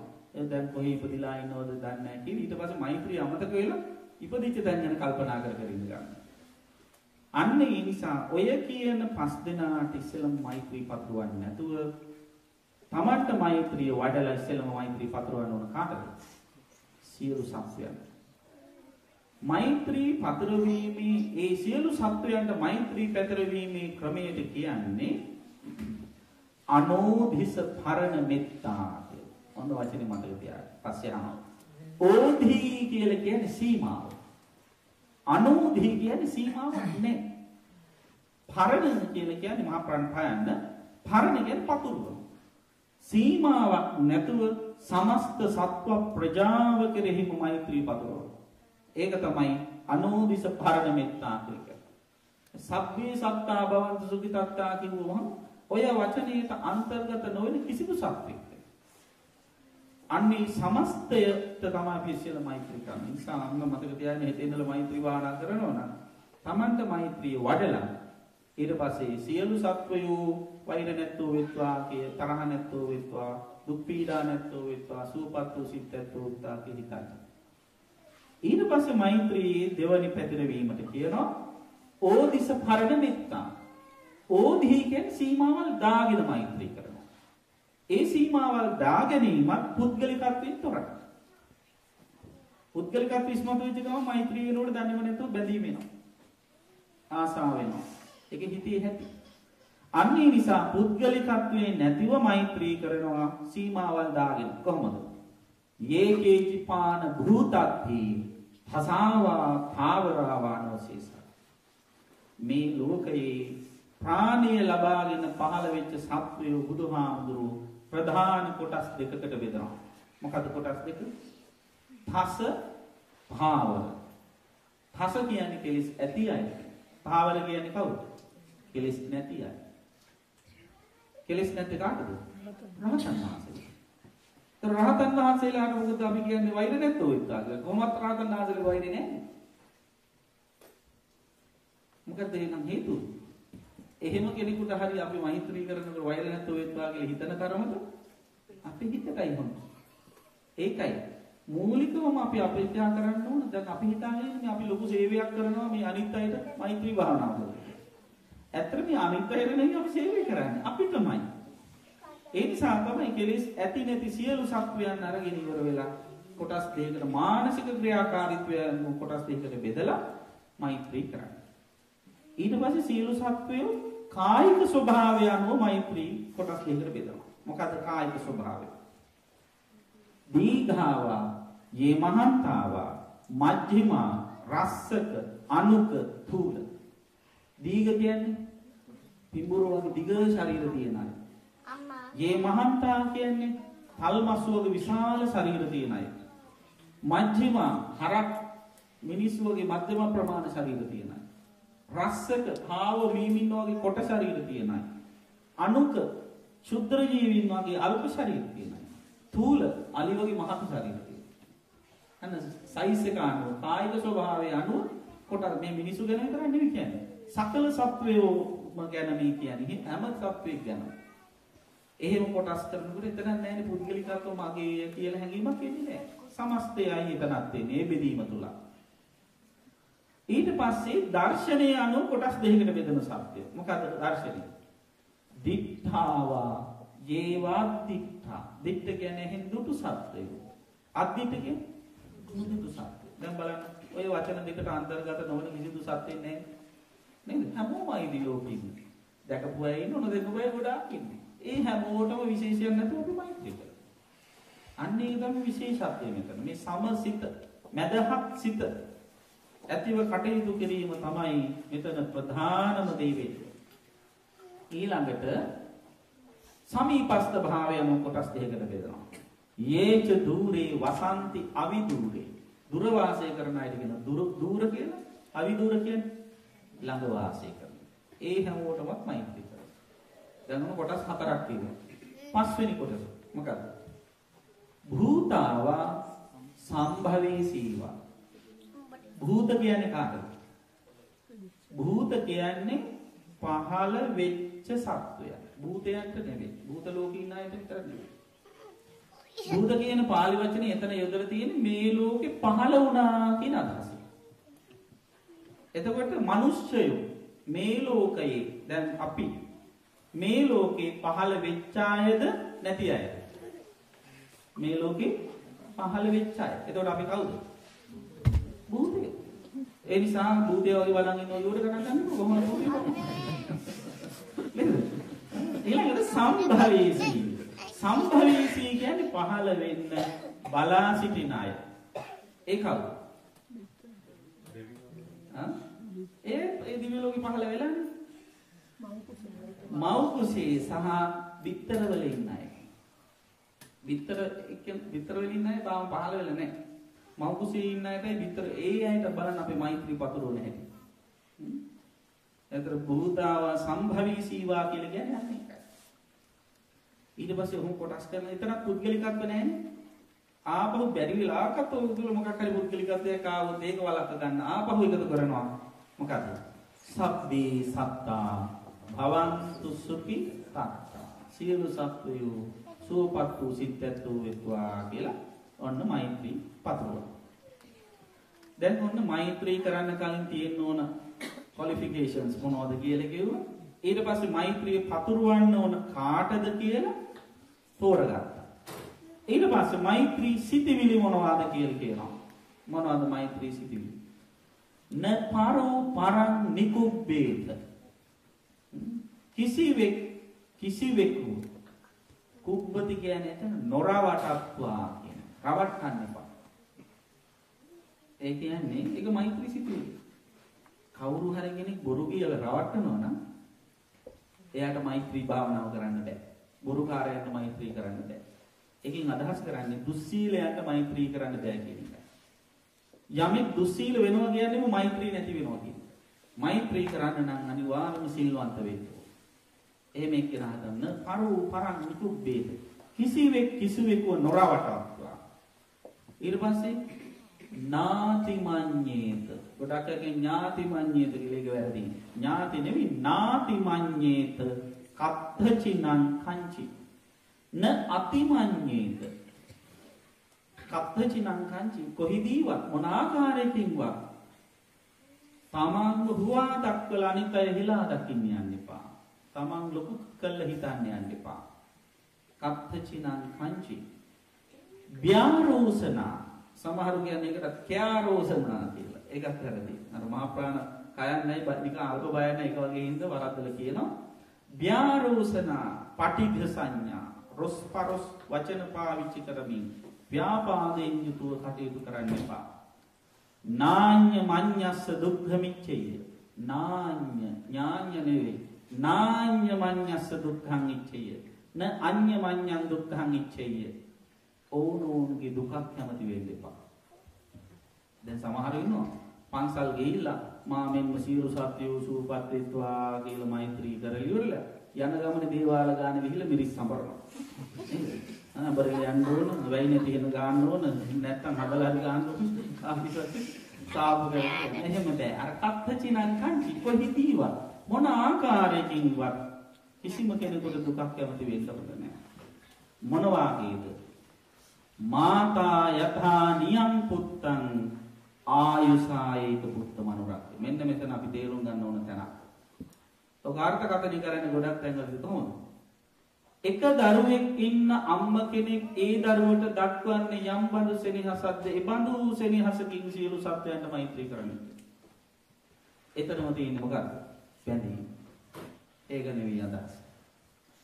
මාතා යථා නියම් පුත්තං එක දරුවෙක් ඉන්න අම්ම කෙනෙක් ආයුසායීක පුත්ත මනුරක්හේ දරුව රකින්නේ දිවි හිමියෙන්. ඒ රකින්නේ යම්සේ දන්නේ වාගේ අපේ හිත රැක ගන්න ඕනේ. එතන කියන්නේ මෙත් සිත රැක ගන්න තියෙන උත්සාහය. එක දරුවෙක් ඉන්න අම්ම කෙනෙක් ඒ දරුවා රැක ගන්න මොන තරම් මහන්සි ගන්නවද?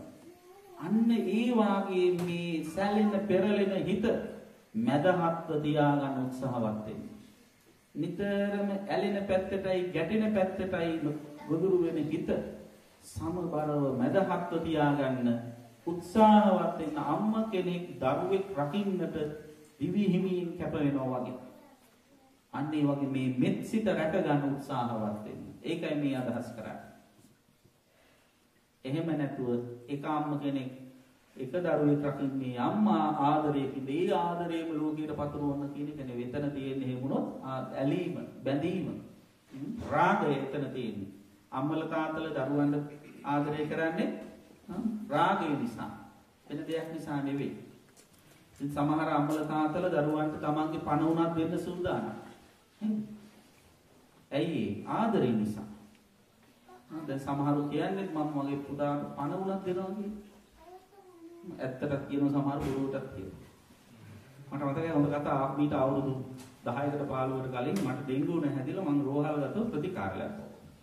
වයසක ආච්චි අම්ම කෙනෙක් මාව ලෙඩ වෙලා කියලා ආරංචිල බලන්න ආවා. ඉතින් ලෙඩේ බොහොම දරුණු විදිහට තිබුණා. ඉතින් විස්තර අහලා මේ අම්මට හරි දුකයි. මේ අම්මා අමාරුවෙන් මං ගාවට ඇවිල්ලා කියන අනේ ස්වාමීන් වහන්සේ ඔබ වහන්සේට කිසිම කරදරයක් වෙන්න එපා. ඔබ වහන්සේ මගේ ආයුෂත් අරගෙන ජීවත් වෙන්න ඕන කියලා. ආච්චිට දෙන්න වැඩි ආයුෂ නැහැ. ඔබ වයසයි. මම දුන්නා. අපරාධ කියන්නේ. ඉතින් දැන් මම ඒක ඇත්තටම කිව්වේ කියලා බලන්න කියලා මම නෝ දැන් අම්මා අම්මගේ ආයුෂ ටික මට දුන්නා මම අම්මට ජීවත් වෙන ආදි නැති වෙනවා ආච්චි මේක ඇත්තට ගත්තරින් ටික වෙලාවක් කල්පනා කළගෙන ආ ඇත්ත තමයි නේද එහෙනම් ඕනේ නැහැ ස්වාමීන් වහන්සේ ඒව ඇත්තින්නා හැබැයි ආයෙ නෙවෙයි බොහොම ආදරෙන් සෙනෙහසින් සැලකෙනවා. ඉතින් කෙසේ වෙතත් මෙතෙන්දි කියන්නේ මේ මේ මෙත් සිත රැක ගන්න දරන ප්‍රයත්නයටයි මේ උදාහරණය දීලා තියෙන්නේ. ආයුසායක පුත්ත මනුරක් ඒවම්පි සබ්බ භූතේසු මාන සම්භාවය පරිමාණ අන්න ඒ වගේ සියල්ලුම සත්වයන් කෙරෙහි අප්‍රමාණ වූ මෛත්‍රී සිත පතුරුවා හරින්න. මෙත්තංච සබ්බ ලෝකස්මින් මාන සම්භාවය පරිමාණ අප්‍රමාණ වූ මෛත්‍රිය මුළු ලෝකෙම පතුරවන්න. කොහොමද? ඊට පස්සේ වන මෛත්‍රී භාවනාවේ තුන්වෙනි පැතිරවීමේ ක්‍රමය ඒකට කියනවා විසා පරණ මෙත්තා කියලා. දැන් මෛත්‍රී පතුරවන ක්‍රම තුනක් තිබෙනවා. කඩ ක්‍රම තුන. අනෝදිස පරණ මෙත්තා, ඕදිස පරණ මෙත්තා, දිසා පරණ මෙත්තා. දිසාව ඉලක්ක කළ මෛත්‍රී කරන. උද්ධං අධෝච තිරියංච. උද්ධං කියන්නේ උඩ අභ්‍යවකාශය. අධෝ කියන්නේ පොළොවෙන් යට.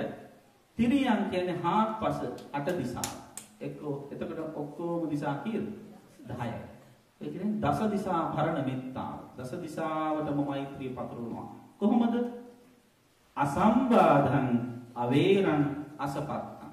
බාධා නැතුව, විශේෂතා නැතුව, උස්පහක්කම් නැතුව, අඩු වැඩිකම් නැතුව සමසිතින්. දැන් දකුණු දිසාවේ සිටින සියලු සත්වයෝ කියපු ගමන් ඔන්න අපිට මතක් වෙනවා අපේ ගමන් දකුණේනේ. ඒ නිසා දකුණේ වැඩි සූපත් වෙන්නේ. හා උතුරු දිසාවේ සිටින සියලු සත්වයෝ කියපු ගමන් ප්‍රභාකරන් හිටිය උතුරනේ එන ඕනේ එකක් තියෙනවා. එහෙම හිතන්න බෑ. එහෙම හිතුවොත් ඒ පුද්ගලිකත්වය එතන ඉස්මතු වෙලා එහෙම නැතුව සියලුම සත්වයන්ට අර මෛත්‍රී සිත පැතිරෙන්න ඕන. ඒක අසම්බාධං අවේරං අසපත්තං කියන. ඊළඟට මෛත්‍රී කරන්න පුළුවන් ඉරියව්. දැන් සමහර ඉඳන් මේ භාවනා කරනවා කියලා කියන්නේ ඇස් දෙක වහගෙන අත් දෙක උගුල තියාගෙන ගල් පිළිම වගේ හෙල්ලෙන්නේ නැතුව ඉන්න තමයි භාවනාව. මේකත් භාවනාව එකක් තමයි. ඒක ඉරියව්වක් විතරයි. ඒ මෛත්‍රී භාවනාව වගේ භාවනාවක්. ඒක තරන්නේ සතර සතිපට්ඨාන කායානුපස්සනාව වගේ භාවනාවක්. හැම ඉරියව්වකම කරන්න පුළුවන්. එතන මෙතන මෛත්‍රී කරන්න ප්‍රධාන ඉරියව් හතරක් තියෙනවා. මොනවාද? තිට්ඨං හිටගෙන ඉඳිත් මෛත්‍රී කරන්න ඕන. චරං චරං කියන්නේ ඇවිදිනුත් මෛත්‍රී කරන්න ඕන. නිසින්නෝවා වාඩි වෙලා ඉඳිත් මෛත්‍රී කරන්න පුළුවන්. සයානෝවා යාවතස්ස විගත මිද්දු. සයානෝවා කියන්නේ නිදාගත්තට පස්සේ මෛත්‍රී කරන්න බෑ හිඳ නිදාහ ගන්න ගිහිල්ලා දිගා වෙලා ඉන්නේ හාන්සි වෙලා ඉන්නේ යම් තාක් කල්ද ඒ තාක් කල් මෛත්‍රී කරන්න පුළුවන් මෙන්න මේ කියන සතර ඉරියව්වෙන් යතෝ යමෙක් මෛත්‍රී කරනවා නම් ඒතං සතින් අදිත්තේය මේ මෛත්‍රී සතේ වාසය කරනවා නම් එහෙම වාසය කිරීමට කියන්නේ මොකක් කියලාද බ්‍රහ්ම විහාරය කියලා බ්‍රහ්ම මේතං විහාරං ඉදමා එහෙම වාසය කිරීමද කියන්නේ බ්‍රහ්ම විහාරය. බ්‍රහ්ම කියන වචනයෙන් ශ්‍රේෂ්ඨ කියන එකයි. ශ්‍රේෂ්ඨම උතුම්ම වාසය කිරීම කේන්ති ගන්නේ නැතුව මෛත්‍රිය පතුරවාගෙන වාසය කිරීමයි. මෙන්න මේ විදිහට මෛත්‍රී සතිය නිතර පුරුදු කරලා එය මෛත්‍රී සමාධිය බවට පත් කරගත්තොත් ඒ සතිය සමාධියට පත් කරගෙන මෛත්‍රී සිත හිතේ එකඟ කරගත්තොත් ඒ සමාධියට ගත සිත යතහා භූත ඥාන දර්ශනයට යොමු කරනවා. ඇත්ත ඇති හැටියෙන් දකිනවා. මෛත්‍රිය වැඩූ තමා සහ මෛත්‍රී පැතර වූ මේ පුද්ගලයන් අතර පුද්ගලිකත්වයෙන් ගත්ත මේ සම්මුතියෙහි පිහිටා තියෙන සියල්ල අනිත්‍යයි දුකයි අනත්තයි කියලා කල්පනා කරනවා. වෙනස් වෙලා යන සියලු ධර්මතාවන්ගෙන් යුක්තයි කියලා හිතනවා. එහෙම මේවා අනිත්‍ය දුක්ඛ අනත්ත වශයෙන් මේ මෛත්‍රී භාවනාව සිද්ධ කරදී ඇතිවෙච්ච සියලු සංස්කාර කායිකව හෝ වාචසිකව හෝ මානසිකව හෝ ඇතිවෙච්ච සියලු සංස්කාර අනිත්‍යයි කියලා වටහා ගත්තොත් ඒව වෙනස් වෙනවායි කියලා වටහා ගත්තොත් දුකයි කියලා වටහා ගත්තොත් ඒ අනිත්‍යතාවයට දුකටපත් වෙන්නේ අනත්තතාවය නිසායි. මේව මට ඕන විදිහට පාලනය කරන්න බැරි නිසායි කියලා වටහා ගත්තොත් මේ තුල සත්වයේ පුද්ගලයේ කියලා ගත හැකි දෙයක් නෑ කියලා වැටහෙනවා. එහෙම වැටහෙනවත් එක්කම එයාගේ හිතේ තියෙන සක්කාය දිට්ඨිය නැති වෙනවා. සක්කාය දිට්ඨිය නැතිවීම තමයි එතන දිට්ඨින් චානුපගම දෘෂ්ටි වලට යන්නේ නැද කියලා කියන්නේ. ඊළඟට ඒ ඒ සක්කාය දිට්ඨිය නැති වෙනවත් එක්කම සත්වයාව රැකගන්න තියෙන ප්‍රයත්නය උත්සාහය අතහැරලා දැන් අපි සාමාන්‍යයෙන් හොඳ දේ කරන්නේ නරක දේ වලකින්නේ ඇයි? කල්පනා කරලා බැලුවොත් ওই දෙකම කරන්නේ මාව රැකගන්න. නේද? පව් කරන්නේ මොකෝද? මොකද පව් කරන්නේ නැත්තේ? අපෝ බෑ පව් කරාම අපාය යනවා. කවුද? මං මං කැමති නෑ අපාය කියලා දුක් විඳින්න. එහෙනම් මොකද්ද කැමති? ඔය කොහේ හරි පිනක් කරගෙන ඉන්න දෙයක් නම් ඊ ඇති. සැප විඳින්න. පින් කරනවා. මොකටද? මං හොඳ තැන්වල යවන්න. එතර පවෙන් වලකින්නෙත් මම රැකගන්න. පින කරන්නෙත් මම රැකගන්න. ඒ පව පින දෙකම තුල ඉන්නේ කවුද? මමයි. අන්තිමේදී රකින්නව මම. මම ඉන්න හැම තැනම දුකයි. යම් තැනක මම ඉන්නවද? එතන ජාතිය තියෙනවා, ජරාව තියෙනවා, ව්‍යාධිය තියෙනවා, මරණය, ශෝක පරිදේව, දුක්ඛ දෝමනස් උපායාස සියල්ල යම් තැනක මමෙක් නැද්ද? එතන ඉපදීමක් නෑ. ඉපදීමක් නැත්නම් වයසට යාමක්, ලෙඩවීමක්, මරණයක් නෑ, දුකක් නෑ. අන්න ඒ දුක නැති කරන්නට අවශ්‍ය කරන ප්‍රතිපදාව ආරෂ්ඨාංගික මාර්ගයයි කියලා අර වැටහෙනවා. එහෙම වැටහෙනකොට අර සීලබ්බත පරාමාස වැරදි සිල් වැරදි වෘත සියල්ලම අයින් කරලා තත්වයට යපත් වෙනවා. සීලවා ආර්ය සීලින් සිල්වත් වෙනවා. විචිකිච්ඡාව නැති කරලා දස්සනීන සම්පන්න දර්ශන සම්පත්තියෙන් යුක්ත වෙනවා. යා යුතු මඟ නිවැරදි විදිහට දකිනවා. නිවැරදි විදිහට සැකයකින් තොරව නිවන දකිනවා. ඉස්සිස්සෙල්ලාම සැකයකින් තොරව නිවන් දකින නිවන පළවෙනි වතාවට දකින කෙනාට තමයි කවුරු කියන්නේ. සෝවන් ඵලයට පත්වෙච්ච කෙනා කියන්නේ. සක්කාය දිට්ඨි විචිකිච්ඡා සීලබ්බත පරාමාස කියන සංයෝජන ධර්ම තුන නැති කරපු කෙනා සෝවන් ඵලයට පත් වෙනවා. එයා එතනින් නවතින්නේ නෑ. කාමීසු විනය්‍ය ගේධං මේ කාම ලෝකයන්ට එන්නට තියෙන ගේධය ආශාව යලි යලි පැමිණෙන්නට තියෙන ආශාව විනය යතහැරලා දාලා. නහි ජාතු ගබ්බසෙයං පුනරේති. ආපහු මිනිස් ගැබක හොවින්නට පුන න ඒති ආපහු එන්නේ නෑ කියලා කිව්වා. ආපහු මේ කාම ලෝකෙට එන්නේ නෑ කියලා කියන්නේ මොකක්ද? න ආගාමි අනාගාමි කියන එකයි. එතකොට ඒ තැනත්තා සක්කාය දිට්ඨි විචිකිච්ඡා සීලබ්බත පරාමාස කාමරාග පටිග කියන මේ කියන සංයෝජන ධර්ම පහම නැති කරලා දාලා මොකද කරන්නේ? ඒ තැනත්තා යනවා සුද්ධාවාස කියන බ්‍රහ්ම ලෝකයට අනාගාමී වෙලා එහිදී රහත් වෙලා එහෙම පිරිනුවන් පාන රහතන් වහන්සේ නමක් වඩපත් වෙනවා. ඒතර කරණීය මෙත්ත සූත්‍රයේ කෙලවර වෙන්නේ කොතනින්ද? නිවනින්. ඒ නිසා ඕක නිකම්ම ගිරවව විදිහට වැඩන්නේ. හොඳට අවබෝධයෙන් තේරුම් අරගෙන මේක භාවිතාවක් හැටියට පුරුදු කරමින් කටයුතු කළොත් ඒ තුනම අපට නිවන් මඟ විවර කරගන්න පුළුවන්කම ලැබෙනවා. ඒ ලෙසින් කටයුතු කරන්න හැම දිනාටම මේ සූත්‍ර දේශනාව උපකාරයක්ම වේවා මේ උදාාරතර කුසල ධර්මයන්ගේ අනන්ත ආශිර්වාද බල මහිමින් හැමට හැකි තරම් ඉක්මනින් උතුම් නිවන් සුව සැලසේවා කියලා සාදු කියලා ප්‍රාර්ථනා කරා. දැන් බණ ඉවරයි. දැන් රිවිෂන්. දැන් කියපු බණ හොඳට අහගෙන හිටියද බලන්න. මොකද්ද මම කියලා දුන්න සූත්‍රේ නම්? කරණීය මෙත්ත සූත්‍රය. සූත්‍රේ පටන් ගන්න කොහොමද?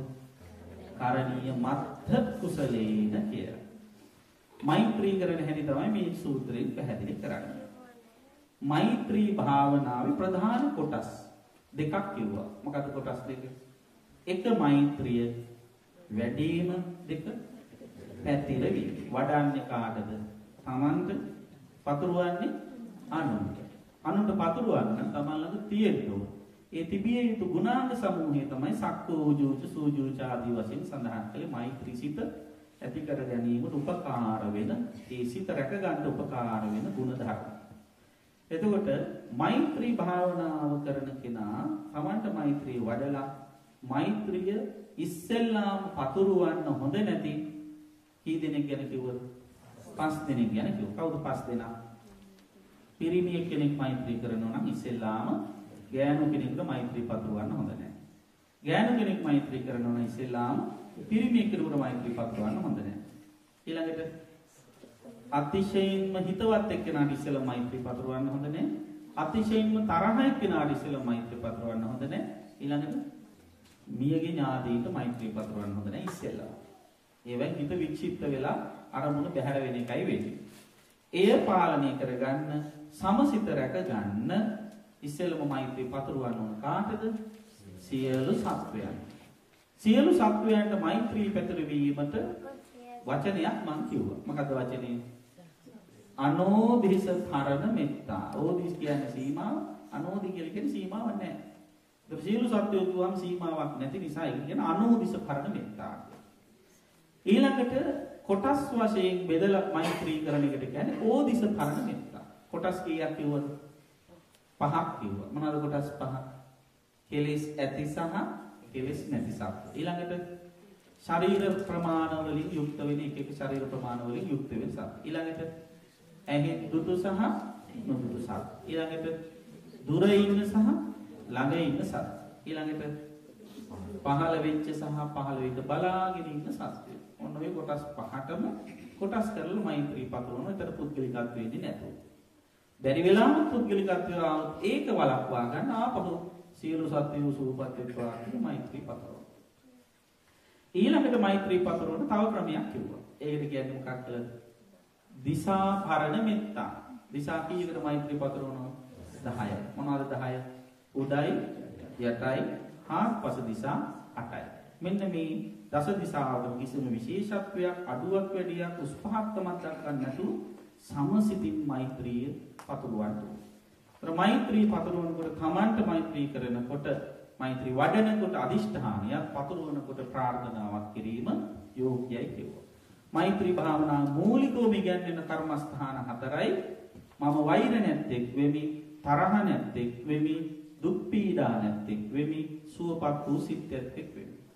ඔන්න ඔය විදිහට මෛත්‍රී හිතන තරමට මෛත්‍රී පුරුදු කරන තරමට තමන්ගේ හිතයි පිරිසිදු වෙන්නේ. නිසා මේක හැමතිස්සෙම කරන්න. ඇස් දෙක වහගෙන අත් දෙක උගුල තියාගෙන ඉන්න ඕනේ නැහැ. කුස්සිය උයද්දිත් මෛත්‍රී කර කර උයන්න පුළුවන්. එළවලු කපද්දි මම මේ කෑම කන අය සුවපත් වෙන්න ඕන, දුක් වෙන්න ඕන කියලා එහෙමත් හිතන්න පුළුවන් ඕන. නේද? කේන්දීන් බැන බැන උයන්න හොඳ නැහැ. උදව්වට කවුරුවත් නැහැ. ඌට පස්සේ කන නම් ඕන තරම් ඉන්නවා. ආදි වශයෙන් එහෙම නැතු මේ කෑම කන අය සුවපත් වෙන්න ඕන, බඩගින්න නැති වෙන්න ඕන, දෙවිනි වකාර උයන්නවත් හම්බෙන්න එපා. ආදි වශයෙන් හිතන්න.